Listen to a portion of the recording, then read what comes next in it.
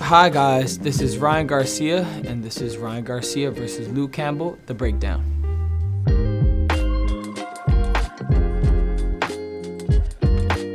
This is a recap of my fight against Luke Campbell.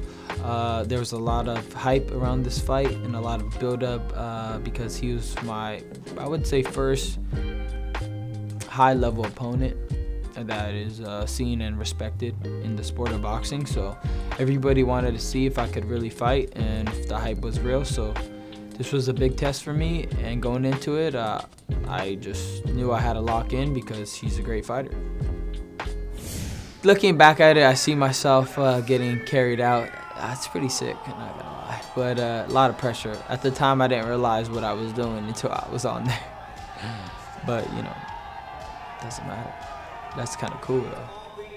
Then I, knock, I had to knock him out. If you come out like that, you gotta knock the guy out. Round one. Round one.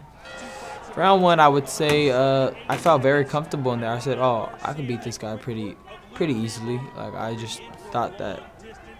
I just thought that I could beat him.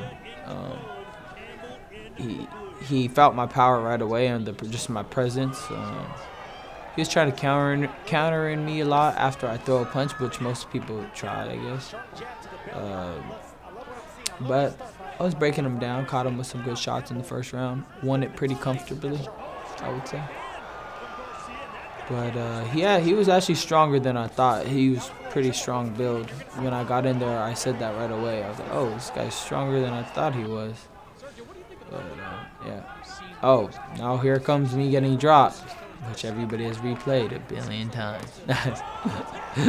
but it was a great shot. I mean, what can I say? He uh, clipped me with the left hand over the top. I ate it and got right back up. So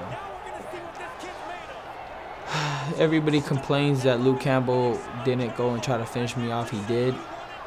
He just can't finish me off that easily. I don't think. I think he found out that real soon. But uh, got back to the corner. I mentioned to my uh, trainers that uh, he still can't do to me. that was my exact word. then I started pressing him. I was like, all right, here comes the real fight. Uh, caught him some good combinations. Uh, then the fifth round came about, as we're seeing right here. Uh, he came in, reached with a, a, straight left with his hand down, got caught with a left hook. Didn't hit him after the bell. I could. They should have stopped it. He, he turned around. That's, that's like you're quitting.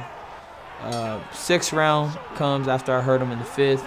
Everybody told me to stay calm, but I didn't listen. I just went at him. I'm not doing nonstop punches.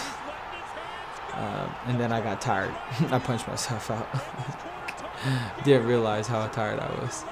Seventh round, I was like, all right, I'm gonna go back to just chilling and just like getting to him, but not gonna waste no energy. But I kept my guard up pretty tight in the seventh round. I could see it right here. That's actually pretty nice. Um, man, he's good. Who's that guy? Look good too. yeah, he was just he was done. He was throwing punches just to throw him after this point. Um, and then I jump in with the left hook to the body. He didn't see it coming at all, and that was all she wrote. So, um, kudos to Luke Campbell though. He came in and tried to fight. Uh, I like people that try to win a fight, you know. And he wanted to win. He fought his heart out, and it's respect. I have nothing but respect for Luke Campbell. Um, even if he beat me, I would have respected him. He's a great fighter. Uh, it was a hard match for me, technical, everything. You know. um, he was he was physical, he was sharp, but uh, I think I proved that I'm at a high level.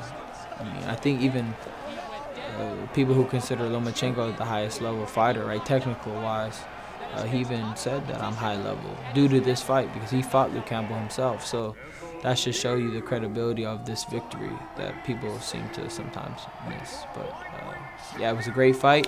I'm happy that it went down, and that's the recap from my words.